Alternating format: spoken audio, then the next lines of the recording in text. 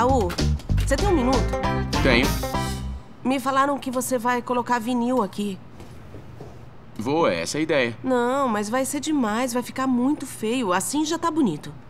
Eu sei, mas na verdade eu não tenho tempo pra fazer de outro Bom, jeito. número dois. Número dois é o balcão. Olha só, ele tá ocupando a parede toda e a gente precisa de espaço pra poder expor os produtos. Tá, eu vou pensar em outro lugar pra ele. Bom, eu acho que desse lado aqui podia ser a parte das camisas. Tá bom. Tá bom? Que mais? Número 3, porque você tá contando um, dois, três, dois, é, Eu três. esqueci o terceiro, eu esqueci o número três, é. Você tem mania de listar tarefas. Número 1, um, número Ah, 2. já sei, lembrei. Número 3. Ai, ferrou. Agora vai ficar pior ainda. Paciência, por favor. que foi? Ô, sogro, eu tava falando desse painel Qual? que o Raul quer cobrir com vinil, mas eu acho Não. melhor não. Ah, não, não. Eu falei ontem, e sabe por quê? O motivo é bem simples. Para colocar o vinil aqui, seria preciso fazer uma costura. Não poderia colar, ia soltar rapidinho. Número dois, esse balcão aqui ocupa muito espaço. Precisa Sim. tirar e passar pra cá. Tem olha. razão. A família inteira surgiu pra dar ideia. Pra reclamar, emitir opinião. Ele tava ali. O problema ali era que ele tava ficar bom. impedindo a circulação nesse ponto aqui. Bom, então traz ele aqui mais pra trás. Tá, que mais, é só Lorena? isso. Só isso, Raul. Por que, que você se Coloca ali. incomoda incomoda porque gente... todo mundo tá aqui dando palpite. Foi o bobo aqui sozinho Não. que arrumou tudo Peraí, isso. agora eu vou e de repente chega todo mundo Raul, não é nada falando. disso. Não, não, deixa eu Não. terminar. Eu fico irritado porque eu fui a pessoa que desde o início investiu na loja. E eles nunca apareciam pra me ajudar. Tem que aceitar Lorena, sugestões. Lorena, ele disse que não vai colocar Ah, e agora mais. ele ficou chateado?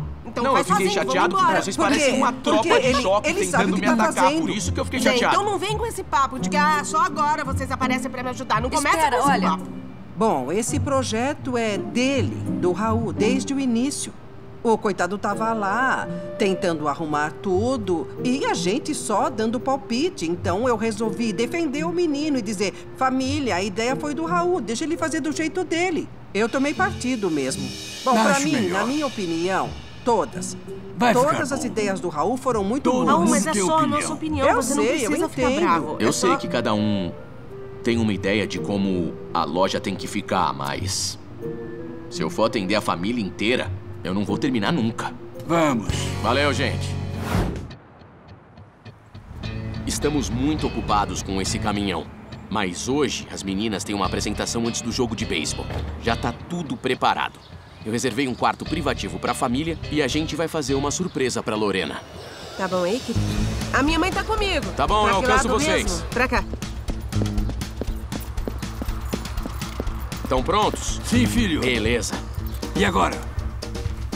Temos me meia ajuda? hora pra terminar, hein? O bolo vai aqui. O bolo aí. Os balões mais pra lá, Laura. Eu mando uma mensagem quando Tá bom. a gente tiver Manda vindo. mensagem. A Tá Lorena bom? não sabe de nada, né, filho? Não, não tem Ela a não menor sabe que a ideia. gente tá aqui, né? Não, não sabe.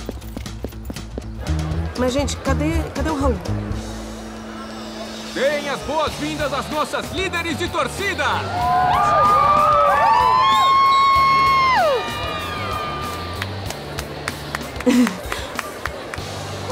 Vai, Camila! Você viu meu Ah, pai? ele tá.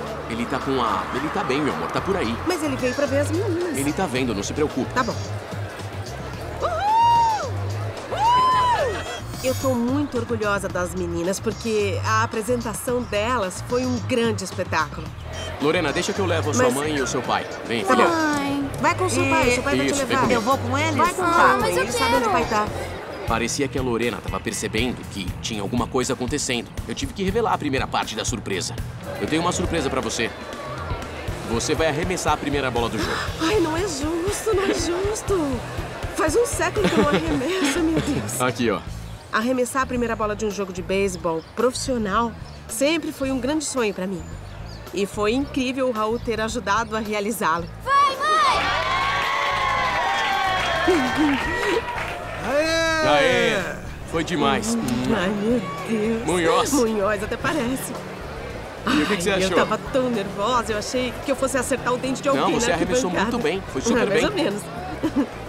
E cadê os meus pais? Estão sentados ali, ó. Eu coloquei os dois juntos. Tá vendo ali? Estavam vendo você. Não, eu não vi. Eu não Eu já te levo lá.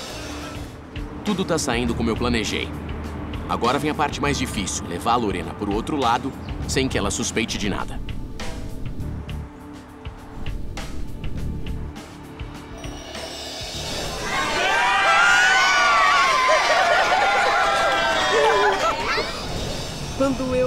Porta, eu vi a família inteira. Foi uma emoção que eu nem sei explicar, porque eu nem desconfiei que ele estava armando tudo isso. Te amamos, feliz aniversário. Muito obrigada. Muito feliz dia, Ai, querida, muito obrigada. Ai, que emoção. Só de saber que os meus pais, os meus sogros, que que a família inteira se reuniu pro meu aniversário, que que fizeram uma surpresa tão especial pra mim, significa muito. A família é a união. A família é o que vem primeiro. Oh, eu amo a minha família. Faltou eu. Mingo, vem pra cá! Meu Deus, meu Deus! Isso, um 6233. Texas Chrome. É um incêndio. Começou atrás de um dos prédios. Meu Deus. Era um prédio novo, cara. Que droga. Eu me assustei porque eu vi um caminhão vermelho estacionado do lado esquerdo. E a minha primeira reação foi tirar ele de perto de lá. Foi um dos caminhões usados. Cuidado, pessoal! Cuidado, cuidado! Meu pai já tá sabendo? Não fala pra ele agora. Toda essa área é do meu pai. O que ele mais gosta de fazer é de comprar caminhões velhos. E esse que pegou fogo, meu pai ia vender pra um cliente. Na verdade, eu não sei como ele vai reagir. Água, água, vai! Meu pai chegou.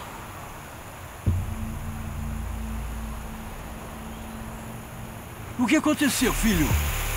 O Mingo foi almoçar com o filho e o Abel ficou trabalhando sozinho. Ele estava lá dentro sozinho, atrás do caminhão. E no ponto que ele estava soldando, saiu uma faísca. Então ele foi buscar uma mangueira. Enquanto ele procurava o extintor, veio uma rajada de vento e começou o Que fogo. merda.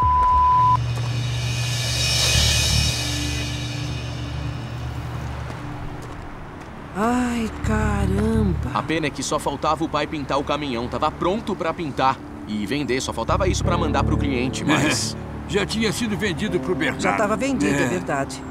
perder um caminhão, um modelo 2007, que já tinha sido vendido pro cliente, deixou meu pai bem triste.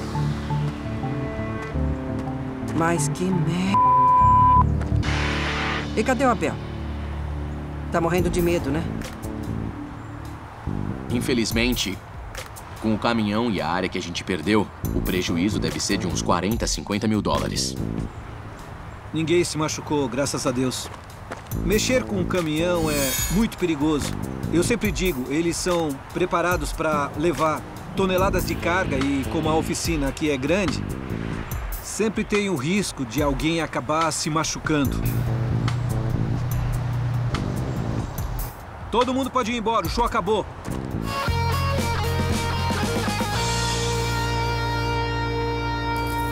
O que, que você acha? Gostou?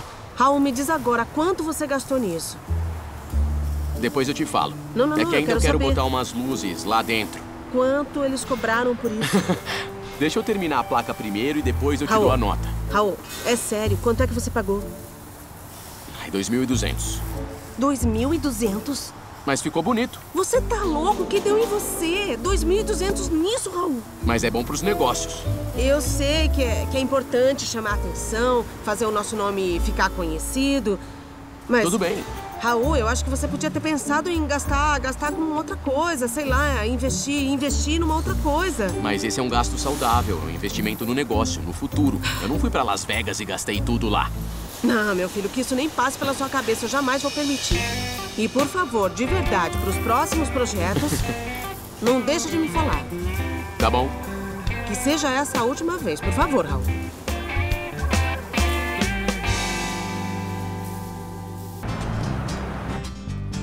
Oh, Nossa!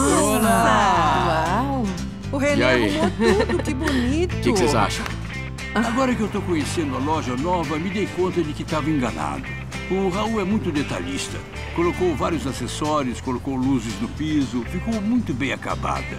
No início eu não concordei, mas agora que eu vi, fiquei muito feliz por ele ter insistido. O cliente ligou, o do caminhão antigo. Ele veio de Las Vegas, pai. Lembra que eu te falei? Sim, ele já está chegando, é isso? Já É. aqui. Vamos Ah, o recebê-lo. Vamos cumprimentá-lo, fazer as Eu vou honras. na Vamos frente. Eu vou junto. Cuidado, cuidado. Ah, eu tô vendo. Caramba, que cores bonitas.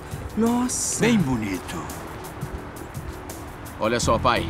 Eu queria contar que o cliente, eu te falei de onde ele é, né? Lembra da cidade? De Las Vegas. De Las Vegas. disse.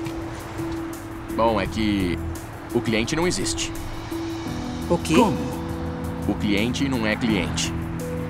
O cliente não existe, ele disse. Como assim o cliente não existe? Então, pra quem era o projeto?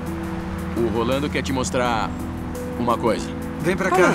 Que segredo é esse? A Quanto gente quis mistério. fazer algo especial pra você. Prestar uma homenagem. E aí, gostou? Blue Eagle. é lindo. Parabéns, senhor. Obrigado. Esse caminhão é seu. Que emoção. É um presente nosso, presente meu e do Rolando. É a nossa homenagem. Tem fotos suas, dos seus 35 anos na estrada, 40 anos na oficina, com sua equipe, com as pessoas que te amam. Lembrança bonita. Meu Que Deus. lindo. Eu acabei. Acabei de descobrir que os meus filhos fizeram aquele caminhão pensando em mim. Poxa.